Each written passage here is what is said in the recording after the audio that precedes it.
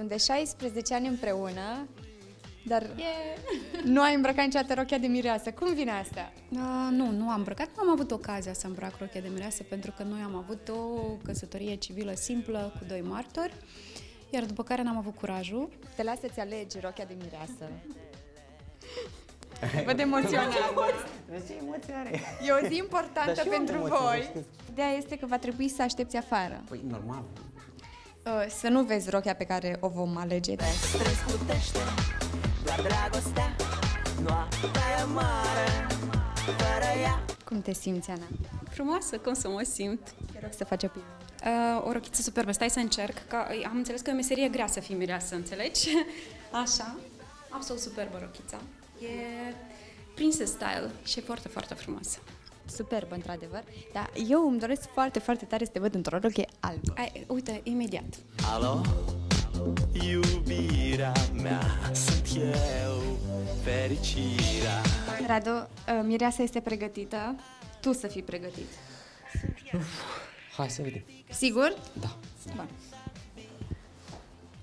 Poți să mă uit? Da. Hai să vedem. Ce drăguț. M-am îndușit. Îmbrăcată pentru prima oară în mireasă, Ana și-a văzut visul cu ochii și s-a bucurat nespus că momentul a fost imortalizat de un fotograf profesionist și că de acum au amândoi albumul de nuntă pe care și l-au dorit. Niciunul dintre ei nu regretă nimic, dar își amintesc de perioada în care el cânta la Ozon, iar ei erau nevoiți să se iubească pe ascuns, deși erau soț și soție. Mai Ideea într-o relație este că vin niște obstacole, sunt niște etape. Unii se blochează la o etapă, renunță și încep o altă relație și intră în aceleași etape a unei relații. Dacă nu depășesc, încep o altă relație. Ei, trebuie să le depășești și noi le depășim. Am plecat la facultate în Chișinău, amândoi, am- el a trecut castingul Ozon, eram acolo. Părinții împotrivă, toată lumea împotrivă, o zonă împotrivă, nu trebuie să ai o relație, suntem într-o trupă, nu să să ai vă o con- relație, trebuie să fii Să vă singur. concentrați la, la studii. Toată Sunteți- lumea era În momentul în care- noastră. Ne întâlneam pe ascuns, trăiam împreună pe ascuns, ne-am căsătorit pe ascuns. În momentul în care tu ai intrat în trupa Ozon, practic ei considerau că nu e ok să ai relație pentru că nu poți să te mai concentrezi la Ei, treaba nu ta. ei neapărat colegii, regula ci boys band-ului, da? da, era o regulă nescrisă și managementul pe care era atunci era, spunea că este bine să ții în spate toate lucrurile astea pentru că erau fane tinere care se dezamăgeau. Au fost cazuri care când s-au tăiat și venele și, mă rog, asta Nu e se altă știe poveste. cum e, da. Mie mi-a fost cel mai greu să respect regula asta pentru că eu eram singurul care aveam uh, uh, iubirea lângă mine și Atunci mi se părea logic. Nu trebuie să ne afișăm, nu trebuie să mergem împreună la film, nu trebuie să mergem împreună acolo, pentru că dacă ne văd fanii, a doua zi erau acele reviste care te spionau și știu că la mall mâncam odată și cu gura plină veneau oamenii și cereau autografe și era așa o disperare completă. Din moment ce tu nu ai voie să te afișezi cu iubitul tău și iubitul tău practic trebuie să pară singur și disponibil pentru fanele lui, nu e, cred că e ușor ca o femeie să înțeleagă lucrul ăsta. Erau peste tot poze cu ei și fete, peste tot. Deci nu era Facebook sau chestii de genul ăsta, dar erau reviste. Chiar dacă au făcut multe sacrificii pentru a păstra în secret relația lor, s-a întâmplat de câteva ori să fie prinși. Un episod pe care categoric nu-l vor uita niciodată este acela când o admiratoare de-a lui Radu a aflat despre povestea lor de dragoste și a încercat să se sinucidă. Era în uh, recepția hotelului Domnișoara și bă, vrea să-și ia viața. Din dragoste pentru Radu, care era cu mine în cameră. Și a aflat că e cu tine în cameră și a venit la hotel. Da, da, da. mai mult de atât a aflat că este iubita mea. Bine, era de fapt soția mea. O dramă, doamne, câte am trăit. Da. Trebuie să scriu o carte. Câți ani avea?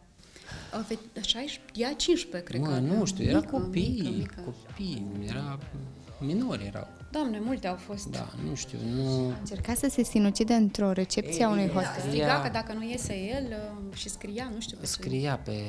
a lăsat tot felul de sc- scrisori pe acolo, știi?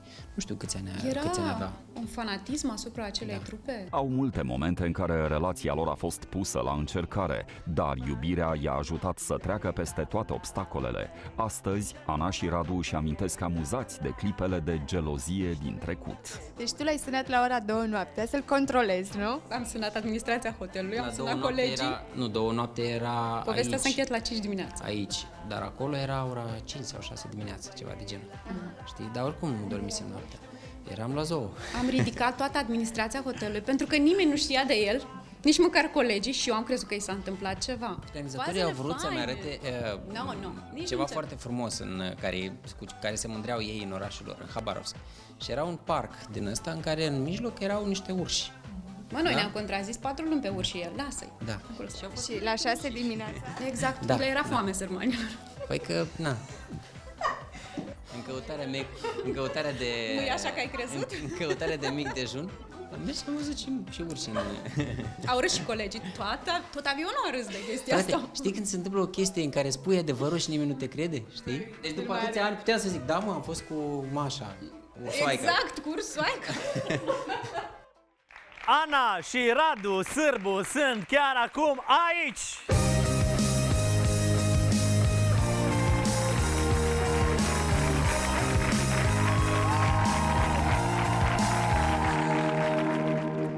Deci acum admiratoarele au voie să știe că ești și căsătorit, că ai și copii, că e tot în regulă. Acum e totul pe față, totul În vine... sfârșit. Da.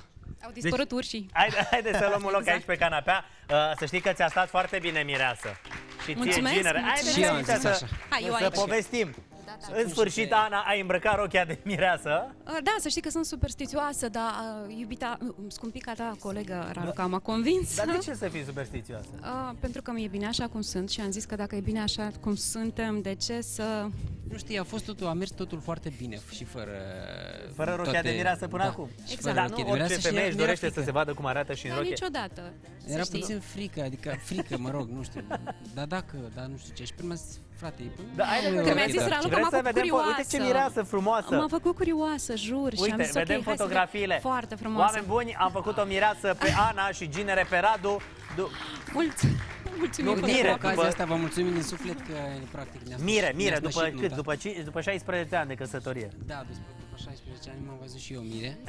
Bine, nu, nu m-am Foarte echipat. frumoase pozele. Radu? Da, foarte frumoase. Da, Vezi, da, să aveți da, amintire da. frumoase. Nu, Mă bucur foarte că v-am făcut frumoasă toată surpriza asta. intenția. Vă Chiar a mulțumim fost foarte super, mult. Da, super uite, o să avem și distractiv. noi uh, amintiri în, uh, Albumul de nuntă. în albumul de nuntă, da. Da. Da, foarte tare poveștile pe care le-a spus ceva mai devreme pe material, faptul că în perioada Ozon, uh, așa era atunci, Boys band. da, cum era legenda, băieții trebuie să spună că sunt singuri. Da, avem o clauză nescrisă Regula așa, era, da, regula o regulă, nescrisă. regulă nescrisă uh, în care nu trebuia să ne afișăm uh, viața personală Now în girls public. allowed. Știi cum e? Da, dar până la urmă lumea s-a schimbat și mentalitatea oamenilor și în acest sens și uh, Dar voi vă întâlneați pe ascuns? Da, Da, ascuns, da, da. bine, te ascunzi Uh, față Mama de lui ne mass susținea media. și în restul nimeni. Cam Părinții tăi nu Da, vroiau? ma- ma- nu că nu vroiau, dar ei considerau că eram prea mici. Noi aveam 16 ani când am început să ne întâlnim și am luat foarte în serios relația, înțelegi? Da, părinții puneau pe prim plan uh, studiile, cariera și după Deci voi aia 16 ani măritii împreună la și tine, dar- familia, mă, mamă, ești prea de mică, mă, mamă, Mm, la 16 ani. Facultate, mami, facultate, care? Mama ta Noi era suntem singura de care a aceeași crezut părere. sau care... Noi suntem de aceeași părere. Mama mea mereu m-a susținut Ah, da. în orice. Uh, Ea știa că Drept eu... urmare îi zic mama. Eu nu-i zic mama soacră niciodată, nu zic, zic mami. Ce frumos. Mereu. Da. Și vă întâlneați pe ascuns, în trupă, în ozon, dar colegii tăi știau măcar că ai pe cineva? Nu știi, bineînțeles că știau că am o iubită, dar nu știau că suntem căsătoriți sau ceva de genul. Pentru Da. că era o chestie doar Să- să pur... fii mai aproape. Da, scuze. era o chestie pur pentru noi, știi? O chestie care am făcut-o pur și simplu că Adică așa am tu te-ai simțit că noi, v-ați nu căsătorit pentru în public. secret și n-a știut nimeni? Nu, nimeni, nimeni. Nimeni. Și când am aflat, au fost de genul, îi spuneam și Raul că e serios? Tu, tu vorbești serios, da? Tu, tu vorbești serios? Erau Câți ani Nu ai? este tocmai Câți un ani exemplu ați, de, uh, fel, avut de când v-ați să nu căsătorit? încercați asta acasă. Câți, câți ani ați avut când v-ați Eu căsătorit? aveam, uh, nu știu, când 2001? Era în 2001. 2001. Da, câți ani în simplu calcul, acum 16, 16 ani, minus... Tre- nu spunem vârsta. E, de ce? Nu, mă- nu mă sfiesc, 39 de ani. Așa? Deci avea 20, 22? Da, da, da. da. Și, 22. deci Eram v-ați tânăr. căsătorit la... Tânăr Și eu aveam neliniștit. 19. Deci tu 19 ani, el 22, da? Și după cât timp, practic, s-a aflat așa că sunteți căsătoriți? Într-un an, Păi nu un an și știu. un pic. Nu știu, pe parcurs s-a aflat, pentru că a fost așa un moment uh, Dar cum- scurt, Nu, știi? în România nu s-a aflat niciodată. Da. Până s-a despărțit uh, tot ozonul, Da, nu prin s-a aflat 2005. niciodată. Da. De-abia prin 2005. Toată lumea o cunoștea pe Ana ca iubita mea, ca... Dar nu știați că Dar nu sunteți știa, căsătoriți. da. Dar și cum Da, te duceai nu la știu. acasă? Cu șapca în cap, pac, te uitai stânga-dreapta. să nu Nici vă- chiar așa, nu. nu, nu, nu, nu. Nici Dar la chiar câte așa. fete erau în jur, eu nici nu, Dar adică se nu întâmpla făceam foarte griji. des la concerte. Când mergeam și dădeam autografe, um, era și Ana lângă mine în România, că după ce am mers în străinătate era mai complicat. uh, să mergem toată gașca. Și era dată la o parte de fane și, uh, știi, mă uitam la ea și eu printre fane, practic vreau să fac loc, să o trag mai aproape, dar Nu avea nicio șansă, dar e, știi, mă obișnui la un moment dat. Eu știam că băiatul ăsta oricum la mine acasă vine, adică stai liniștită. Să știi că sunteți o familie foarte frumoasă, Mulțumim serios. de Chiar suport. sunteți foarte mișto, Mulțumim de suport. foarte și aveți niște copii foarte tari. Uh, o să fie și cu muzică după publicitate aici. Ne întoarcem în câteva momente, rămâneți cu, noi. premieră. Am înțeles că mai avem o gravidă la Pache Protopopescu. Da, cozonacii primesc doar gravidele, adică Da. pare rău, vin la Acum, asta e regula acum, că nu mai am alții.